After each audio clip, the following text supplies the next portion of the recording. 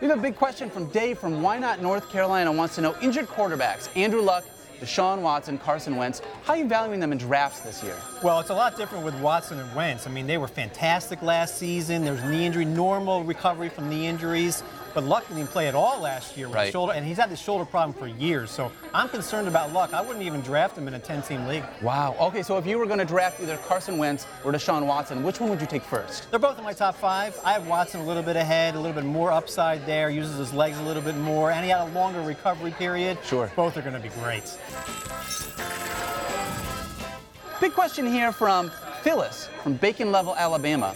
When is the right time to take a quarterback this year? Uh, not in the first 10 rounds. No. Aaron Rodgers is great, Tom Brady, but you can wait. Brees, Garoppolo, Cousins, Stafford of the Lions, they're all available in round 10 or later. Wait for these guys until the end, middle of your draft, and you can even get a second quarterback after that if you really need. I was going to say a lot of depth at this position. Are you an advocate of taking two quarterbacks in a 10 team league, or are you just rolling with one? I'm rolling with one, and then when the bye week comes, there's always another quarterback out there that can help you for one week. I mean, Blake Bortles for one week, that's okay. Sure. One week of Blake Bortles is not that bad. Zed from Zap, North Dakota asks Should I draft a quarterback and a wide receiver from the same offense? I am a proponent of stacking, but I wouldn't force it. You want to have a good offense, one that you're confident will produce every week, like what I expect out of the Houston Texans this year. Um, I've got a couple of teams with Deshaun Watson and either DeAndre Hopkins or Will Fuller on them.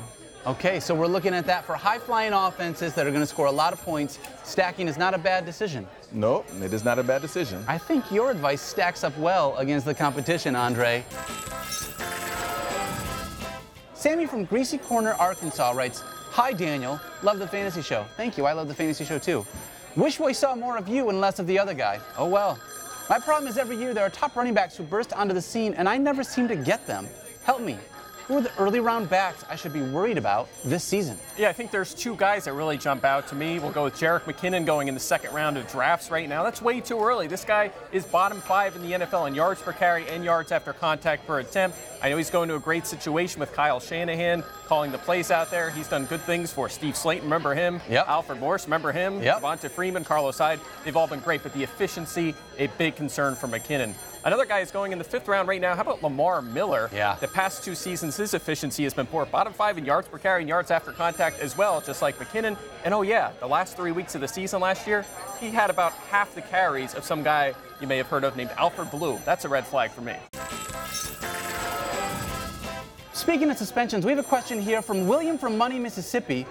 I'm not sure how to value suspended players in a draft. Can you help me? There's great value, and we can help you. Guys like Mark Ingram, Aaron Jones, they're slipping in drafts, and they Yep. really shouldn't be. I mean, Ingram was the number six running back last season. He's going in the seventh round now. Just wait four weeks, because nobody's really injured. Bye weeks don't start till week four. You can wait for Ingram and Aaron Jones. I don't know about quarterbacks, but running back and wide receiver, wait. Absolutely. And Julian Edelman, someone also has a four game suspension with Tom Brady. Once he gets back, what do you think? He'll be a top 25, top I 20 think wide receiver? potentially a top 20 wide receiver, and if you can wait until like round six or seven, that's around the right time to get these guys. That's a great value.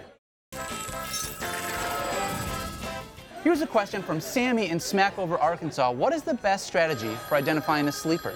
You're going to want to look for two things opportunity and improved team situation. Okay. So take a guy like Rashaad Penny in Seattle. He's going to have a lot of opportunity this year for a team that really likes to run. Or a guy like Joe Mixon in Cincinnati. He's playing for the team that just revamped their entire offensive line this offseason. Both of those are situations you want to look for. Absolutely. And I thought it was the sleeping bag and pillow that gave it away. This is why you're the expert, Andre.